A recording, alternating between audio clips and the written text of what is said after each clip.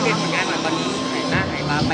สักพักหนึ่งค่ะก็มีหนังของพี่คลีนะคะ ที่ถ่ายจบแล้ว เมษาเนี่ยค่ะจะได้ดูกันค่ะ เรื่องเฟย์ค่ะ แล้วก็มีละครเอ่อทางมีเดียชาแนลนะคะ ละครเรื่องเก้าอี้ขาวในห้องแดง on air อยู่ตอนนี้ค่ะ แล้วก็มีเอ่อพิธีกรรายการ Lollipop Fighter นะคะ ทาง CMM Sport ค่ะ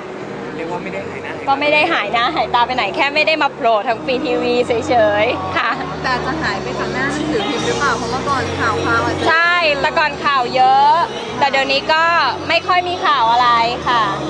อาจจะคบคนนอกวงการหรือเปล่าอ่าเปิดทางมาขนาดนี้แล้วเออเออ เป็นไงบ้างครับตอนนี้ ดีค่ะ ความรักดีแฮปปี้ดีค่ะ อ่า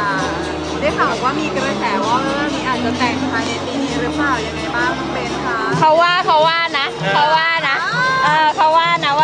ปีเนี้ยค่ะ ก็มีมีมาคุยมีอะไรอย่างเงี้ยแล้วอะค่ะ ก็คือทางผู้ใหญ่ฝั่งนู้นกับฝั่งเราได้ได้ได้คุยกันตั้งแต่เอ่อปีใหม่ปีที่แล้วไม่ใช่ไม่ไม่ใช่ปีนี้นะเออคุยกันนานมาแล้วอะค่ะค่ะว่าเออขอขอขอสักหนึ่งปีอะไรอย่างเงี้ยนี่ก็ครบหนึ่งปีแล้วอะไรอย่างเงี้ยค่ะ แต่ก็ต้องดูว่าผู้ใหญ่เขาจะว่ายังไงต่อ ภายในปีนี้ไหมน้องเบน ก็รอเขาอยู่นะเออรอขอก็แต่งอะ เออ แล้วจุดเราพร้อมหรือยังครับพร้อมยังพร้อมหรือยัง ตอนนี้ก็ถามว่าพร้อมหรือยังก็พร้อมแล้วอะค่ะ แต่ว่าเราก็ยังติดที่ว่าเรายังอยากทำงานอยู่ค่ะ เรากลัวที่ว่าถ้าเราแต่งงานไปแล้ว เรา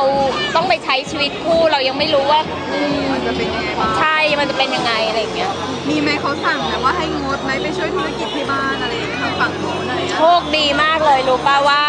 ทั้งพ่อแม่เขาญาติพี่น้องเขาตัวเขาเองไม่เคยก้าวไก่ในในการหน้าที่การงานของเราเลย ไม่ว่าเราจะติดท่าเซ็กซี่ขนาดไหน เราเคยถามว่าถ้าเราต้องกลับไปถ่ายแบบเซ็กซี่อีกชุดว่ายน้ำอีกเขาจะว่ายังไงเขาบอกว่าคุณได้ค่าตัว คุณได้ตังค์อะคุณจะไปแคร์อะไรเออแล้วเรารู้ว่าเป็นยังไง เราคบกันเรารู้ว่าเราเป็นยังไงอะไรเงี้ยเราไม่ได้เป็นอย่างภาพ ตรงนั้นอะไรอย่างเงี้ยมีค่ะจะแบบว่าควงคู่ไหมเพราะว่าสื่ออะไรเงี้ยก็ยังไม่เคยเห็นหน้าอะไรยังไงเลยอะไรอย่างเงี้ยค่ะ ควงคู่ไหมเขาอยู่ต่างจังหวัดน่ะอืมเขาคุมธุรกิจอยู่ต่างจังหวัดนะคะเขาเปิดร้านทองอยู่ที่โคราชนะคะค่ะ อยู่ต่างอำเภอด้วยอยู่อยู่พิมายอะไรอย่างเงี้ยค่ะเออมันก็เลยไกลกันแล้วก็ช่วงนี้งานงานค่อนข้างเยอะของเบนซ์นะคะ แล้วเขาก็ก็เลยไม่ค่อยได้เจอ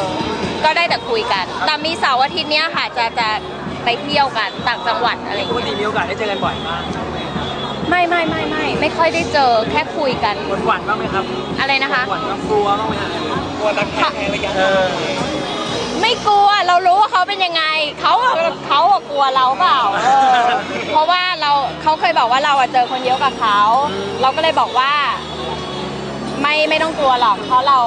คือเราคบกันอยู่สองคนรู้อยู่แล้วว่า เราเป็นยังไง แล้วเราก็หนักถ้าเราหนักแน่นในเมื่อเราหนักแน่น คุณไม่ได้ทำอะไรให้เราแบบว่า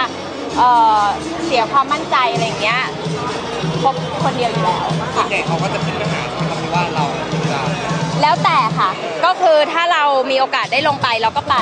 ถ้าเขามีมาทำงานที่นี่คือเขาจะขึ้นมาที่นี่บ่อยอยู่แล้ว เพื่อที่จะมาสั่งงานสั่งอะไรอย่างเงี้ยค่ะ เพราะว่าเขารับสั่งทำ jewelry jewelry เนี่ยจะต้องขึ้นมาสั่งที่กรุงเทพอยู่แล้วค่ะ ก็ก็ขึ้นมาบ่อยครับอันนี้ผมผ่านมาแล้วปีนะฮะสองสองปีแล้วค่ะค่ะเป็นไงบ้างครับประทับใจเขาตรงไหนยังไงบ้างประทับใจทุกอย่างเลยเออดูนะแฮ ประทับใจทุกอย่างเลย ไม่คือประทับใจทุกอย่าง เพราะว่าเขาเป็นคนเอ่ออายุน้อยกว่าเราด้วยนะ น้อยกว่าปีปีเดียวเองเออเขาเกิด 28 เราเกิด 27 แต่เขารู้สึกว่าเขาจะผู้ใหญ่กว่าด้วยเอ่อนิสัย ไม่ว่าเขาจะไปเขาเรียกว่าอะไรอะเขาจะไปสังสรรค์ปาร์ตี้เฮฮาแฮงขนาดไหนอะก็รุ่งเช้าต้องมีงานต้องทำงานตอนเช้าเขาก็ลุกขึ้นไปโดยที่แบบ เหมือนเมื่อคืนไม่ได้มีอะไรเกิดขึ้นอะไรอย่างเงี้ยค่ะ เออ แล้วก็ก็ดูแลเราดีแล้วก็เป็นผู้ใหญ่อะไรอย่างเงี้ย ครับอยากทราบเพราะว่าเรื่องแต่งแต่งงานเนี่ยผู้ใหญ่เรื่องเรื่องหลานนะครับหรือว่าเร่งเรื่องหลานเรื่องหลานเรื่องหลานไม่ไม่ไม่รู้ว่าไม่ได้เร่งอะแล้วแต่จริง ๆ คือคุณแม่บอกว่าอยากแม่เรานะคะ อยากให้ให้อยู่แบบนี้ไปก่อน เพราะว่า ไม่ได้เร่งว่าจะต้องมีน้องหรือมีหลานอะไรอย่างเงี้ยค่ะ ก็คืออยากให้เราอยู่แบบเนี้ยแล้วก็เพราะว่าสมัยนี้มันค่าใช้จ่ายมันเยอะค่ะ ไม่ว่าถ้ามีเด็กคนหนึ่งมีน้องมีอะไรอย่างเงี้ยเขาก็จะต้องเขาเรียกว่าอะไรอะจะต้องมีค่าใช้จ่ายเลยเรื่องการเรียนการศึกษาอะไรอย่างเงี้ยกลัวเราจะกลัวเราจะในอนาคตค่าท้องที่มันจะสูงขึ้นอะไรอย่างเงี้ยค่ะ ก็ลองลองให้เราลองดูว่าว่ามันจะเป็น ร้อมหรือยังอะไรเงี้ยไม่ใช่ว่าเขาห้ามให้ไม่มี แต่ว่าให้เราพร้อมมั่นคงกว่านี้อะไรอย่างเงี้ยเรียกว่าอาจจะมีลุ้นภายในปีนี้แน่นอน อาจจะเออค่ะไม่ฟ้าแลบนะคะบ้าไม่ฟ้าแลบเออถ้าฟ้าแลบเมื่อไหร่ประกาศเดือนหน้าเลยไหมเออไม่ไม่ไม่ค่ะถ้าก็ถ้าพร้อมเดี๋ยวจะบอก ถ้าถ้าเขามาขอเมื่อไหร่ จะรีบเลยยิงกลางบอกเลย เออ